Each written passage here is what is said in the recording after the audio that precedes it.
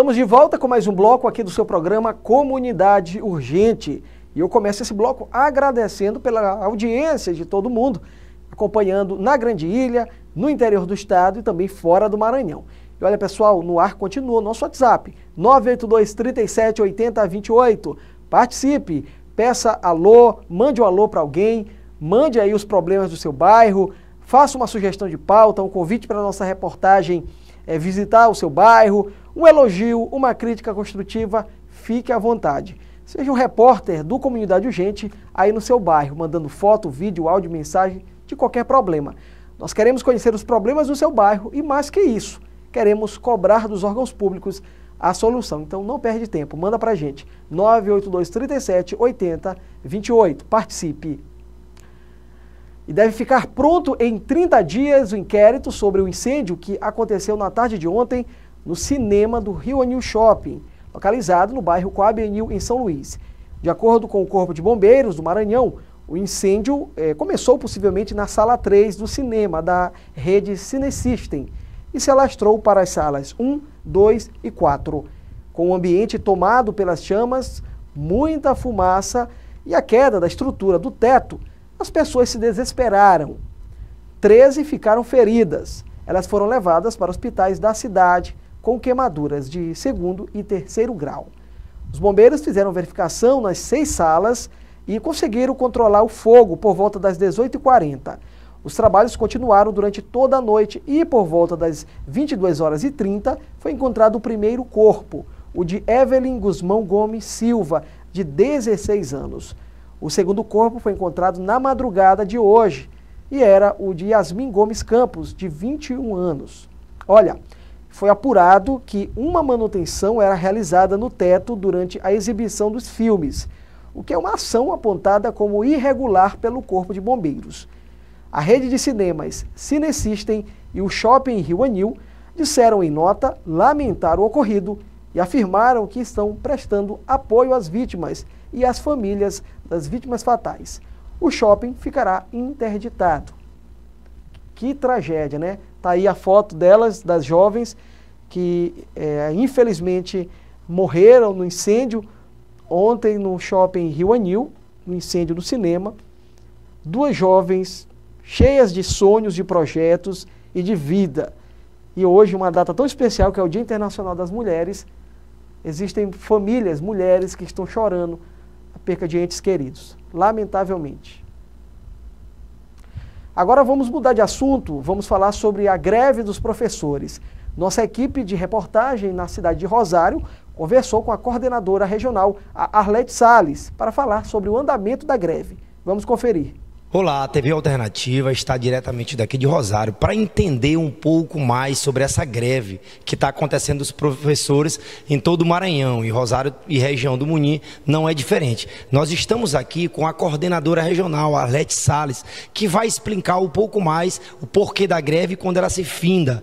Arlete, explica para a gente aqui da TV Alternativa e o telespectador que nos acompanha o porquê dessa greve e se ela tem prazo para terminar. Bom dia. É, nós estamos de uma semana de paralisação, que foi semana passada.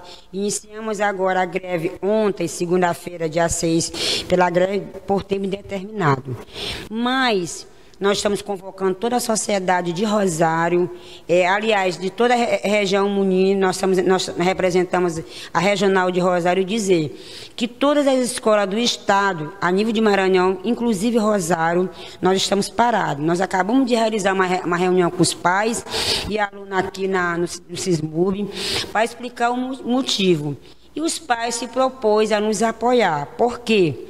Além da questão salarial que o governo mente nas redes sociais, que nós temos maiores salários, nós temos o nosso salário é achatado a um longo de sete anos. O governo ano passado não deu o nosso reajuste, é, que era de 35%, só deu 8% é, de duas vezes. Esse ano ele queria novamente e é, é necessário a gente dizer não. O sindicato é, já realizou uma reunião com o Estado, com toda a pressão da sociedade, mas o governo ainda colocou um valor muito baixo de 10%. 10%. E nós estamos nessa luta, pedindo para toda a sociedade nos apoiar Porque, além de ser reajustes salariais, existe, são 15 itens. Escolas com vigias há 13 meses sem receber dinheiro. As copeiras estavam com 4 meses sem receber nenhum valor, ficaram de greve também.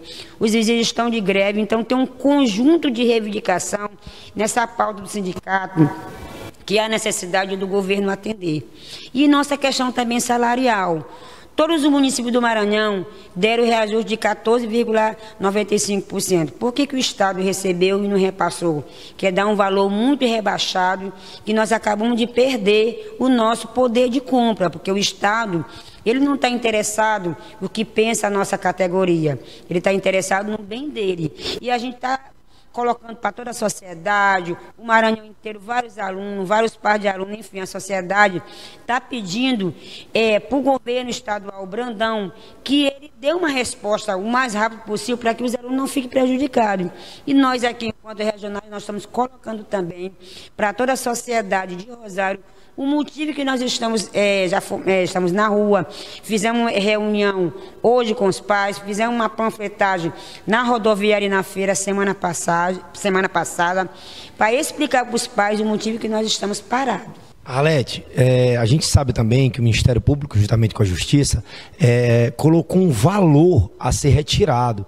Conta um pouquinho mais dessa história para gente é, o governo do estado ele deu a, a, greve antes de começar, diferente de todos os tempos e diferente do Brasil inteiro, o governo do estado ele decretou a, a greve legal.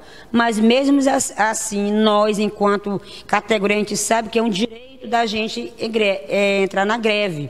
E nós continuamos. E com isso o governo conseguiu confiscar, é, colocar a multa que já tinha prometido, de 100 mil para o sindicato, e ele fez de uma forma de pressão, uma forma de inibir toda a categoria para ver se recuasse. Mesmo com todo esse prejuízo, mesmo com esse desconto que o governo já fez, nós estamos aqui de pé, colocando a sociedade que nós não vamos parar enquanto o governo não dê uma resposta plausível para toda a categoria.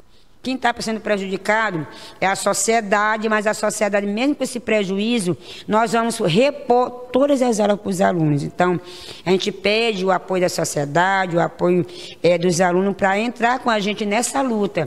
Que a luta não é só questão salarial, mas é questão estrutura de escola, terceirizado. Aqui em Rosário nós temos Ramon João Saldanha, que iniciou sem nenhuma estrutura, uma escola que não tem laboratório. Nós temos lá em São João do Rosário uma escola, que é o Leocádio, que está caindo, e o governo não olha por essas questões. Então, nos nossos 15 itens, entre todas as questões, tanto salarial quanto a estrutura da escola.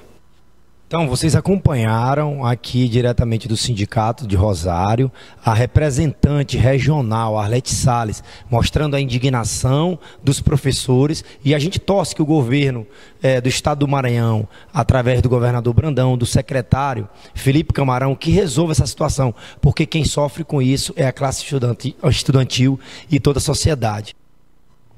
Tá aí. Essa entrevista feita pelo nosso amigo Jadson Rocha, da TV Alternativa de Rosário. Eu acho que não é nem preciso eu comentar nada aqui, porque já ficou bem nítido aí é, o que querem os professores. Não é só, não se trata apenas de é, um reajuste salarial, mas das condições em que se encontram as escolas aqui no nosso estado. Não dá para conviver com isso. Numa aula, numa sala que está caindo, se deteriorando, sem qualidade nenhuma. Então fica aqui também o nosso apelo para que o governo do estado possa solucionar esses problemas e o quanto antes possa solucionar essa situação da greve para que logo logo os professores possam retornar às salas de aula. E no próximo bloco você vai conhecer a história de superação da Sabrina, filha de agricultores que passou em medicina após 18 tentativas. Eu volto em instantes.